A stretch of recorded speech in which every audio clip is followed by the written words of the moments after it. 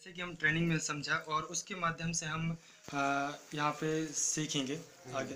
हवाकुब दो के चौदह में लिखा है, क्या बोलते हैं, क्योंकि पृथ्वी में, पृथ्वी यहोवा की महिमा और ज्ञान से ऐसे भर जाएगी जैसे कि समुद्र में जल भर जाता है। परमेश्वर का महिमा और ज्ञान हमारी पृथ्वी में ऐसे भर जाएगी जैसे कि समुद्र में जल अथाह भरा रहता है। उसी प्रकार पृथ्वी में परमेश्वर के हर एक महिमा और उनका ज्ञान क्या बोलते हैं पूरी तरीक़ा से भर जाएगा पृथ्वी में। हालेलुया। हालेलुया। और परमेश्वर का यही विजन एक दर्शन है। क्या बोलते हैं परमेश्वर यही एक आगे करना चाहता है। और हमें क्या बोलते हैं आगे H T E H H H T E के बारे में बतलाया गया है। जो क्या बोलते हैं व्यक्ति का संपूर्ण बदलाव है। संपूर्ण परिवर्तन मतलब होलिस्टिक ट्रांसमिशन और डिस्प्लाइजेशन ट्रेनिंग ये ट्रेनिंग के बारे में हमें बतलाया गया है। जैसे कि क्या बोलते हैं संपूर्ण बदलाव मतलब मनुष्य का मनुष्य जीवन का एक पूरा परिवर्तन परिवर्तन बोलते हैं उसे हम। क्या बोलते हैं व्यक्ति का परिवर्तन होना ज़रूरी है। और परिवर्तन इस प्रकार है आत्मिक परिवर्तन। आत्मिक परिवर्तन से हम देखा जाए कि एक व्यक्ति का जब तक वो क्या बोलते हैं बत्तीसवा ना लेता वो उसका आत्मिक परिवर्तन नहीं होता। इसलिए हम उसे क्या बोलते हैं जब पहले प्रार्थना करता और इसके बाद में फिर हम उसका आत्मिक परिवर्तन होता है पानी के द्वारा। उसका आत्मा का परिवर्तन हो जाता है। नेक्स्ट है आर्थिक परिवर्तन।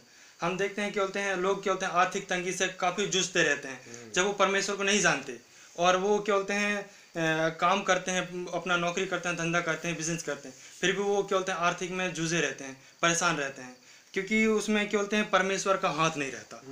वो काम तो करते हैं लेकिन वो उनका जो काम करते हैं उनका धन है वो फलता नहीं है। इसीलिए क्या बोलते हैं परमेश्वर कहता है इसका एक परिवर्तन होना ज़रूरी है। आर्थिक परिवर्तन होना ज़रूरी है। और क्या बोलते हैं धार्मिक परिवर्तन।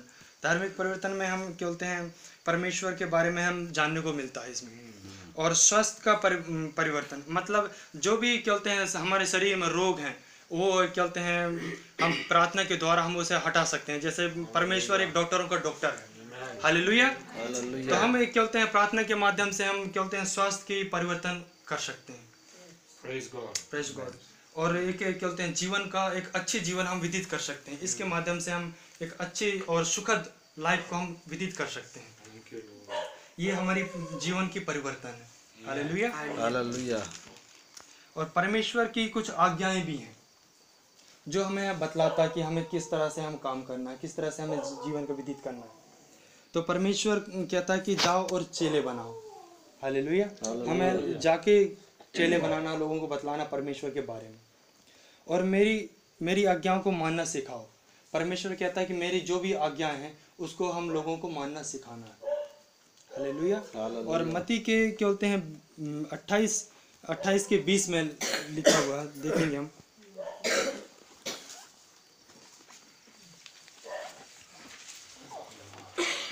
उनको मानना सिखाओ। और मैं तुम्हारे अंत तक तुम्हारा सा, साथ रहूँगा तो मैं कभी ना छोड़ूँगा ना कभी त्यागूँगा।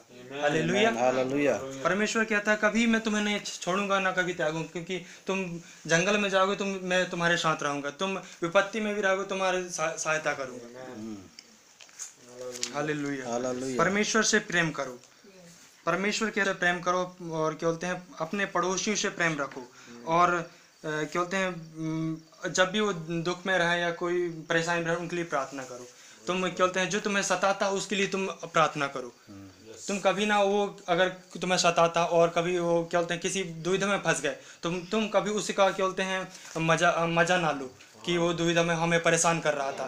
तो वो अभी परेशानी में है। तो हमें उसे क्या बोलते हैं, उसके, क्या बोलते हैं, उसकी दुखों में कभी हमें खुश नहीं होना है। उसे उसके लिए हमें प्रार्थना करना है। उसे क्या बोलते हैं हमें समझाना है कि कोई बात नहीं क्या बोलते हैं ये दुख है तो हम उसे समझाना और उसके लिए हम प्रार्थना करना है। प्रोत्साहित करना। प्रोत्साहित करना। हालेलुया। हालेलुया। और हम क्या बोलते हैं आगे देखेंगे क्या बोलते हैं दस आज्ञाएँ के बारे में। परमेश्वर नीति वचन बीस बीस अध्याय में लिखा हुआ है। नेक्स्ट तू मुझे क्या बोलते हैं तू तू अपने लिए कोई मूर्ति खोद कर ना बनाना ना किसी प्रतिमा बनाना और ना उसकी उपासना करना ना तू मूर्ति पूजा करना।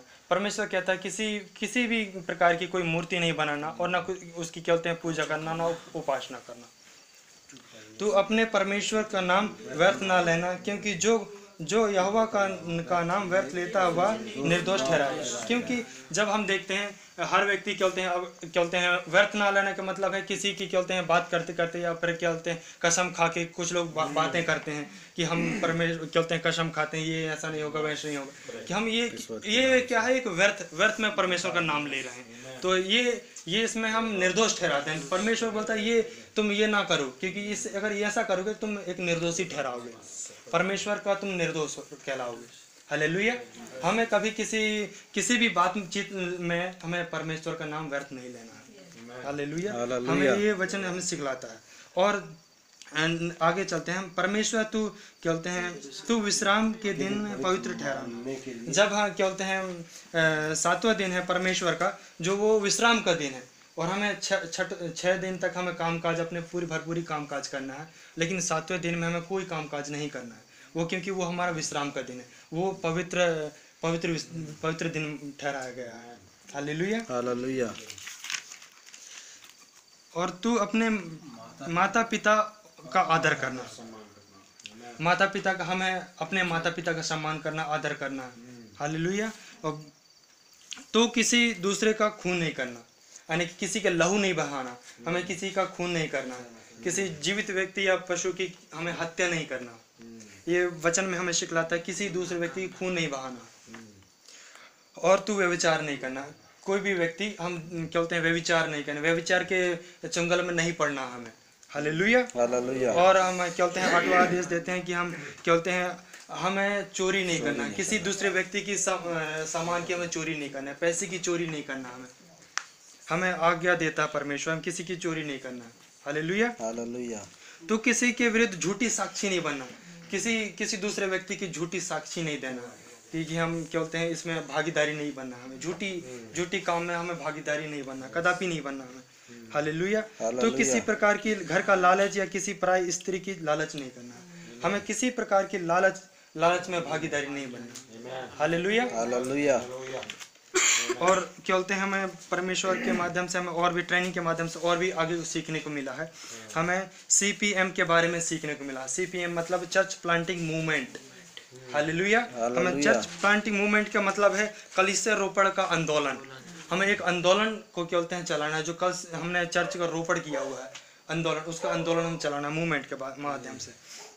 तो हम क्या बोलते हैं दूसरा तिमोथी दूसरा का दूसरा अध्याय। हमें जो क्या बोलते हैं बातें हैं परमेश्वर ने क्या बोलते हैं माध्यम से बतलाया उसे हमें दूसरों दूसरों को भी सिखलाना है। You, Lord. Thank you Lord Jesus और उत्पत्ति- पर में हम देखते हैं, क्या बोलते हैं, व्यक्ति बहुत सारे पाप किए हुए हैं और वो पाप से हमें परमेश्वर छुटकारा देना चाहता है। तो हमें सर्वप्रथम परमेश्वर से हम, क्या बोलते हैं पश्चाताप करना, माफ़ी मांगना और वो हमें क्षमा करेगा और अनंत जीवन देगा। सर्वप्रथम हमें, क्या बोलते हैं, पश्चाताप करके, विश्वास करके मसीह में वापस लौटना है। हमें ये एक्टिव भी करके वहाँ पे बतलाया गया था, वहाँ पे ट्रेनिंग के दौरान। और दूसरा है हमें क्या बोलते हैं बत्तीसवा पानी के द्वारा हमें बत्तीसवा लेना है। और ये क्या बोलते हैं मती के 28 के 19 में भी लिखा हुआ है। आप लिख लीजिए आप पढ़ लेना नेक्स्ट टाइम क्या बोलते हैं और तीसरा है प्रार्थना करना। हमें परमेश्वर से क्या बोलते हैं एक क्या बोलते हैं अटूट रिश्ता बनाने के लिए हमें प्रार्थना करना है। चौथा है गो चेले बनाओ। हमें जाके चेले बनाना है। और मती के 28 के 20 में लिखा हुआ है क्या बोलते हैं ये जाके हम चेले बनाना है लोगों में ठीक है ना? और पांचवा है क्या बोलते हैं प्रेम करना है। सभी लोगों से हमें प्रेम रखना है। मती के यूहन्ना के छः के सोलह में लिखा हुआ प्रेम के बारे में। और क्या बोलते हैं छठवा है क्या बोलते हैं प्रतिभोज क्या बोलते हैं रोटी तोड़ना है और प्रतिभोज लेना है। हालेलुया। हालेलुया। जो क्रंथियों के ग्यारह के चौबीस में लिखा हुआ है।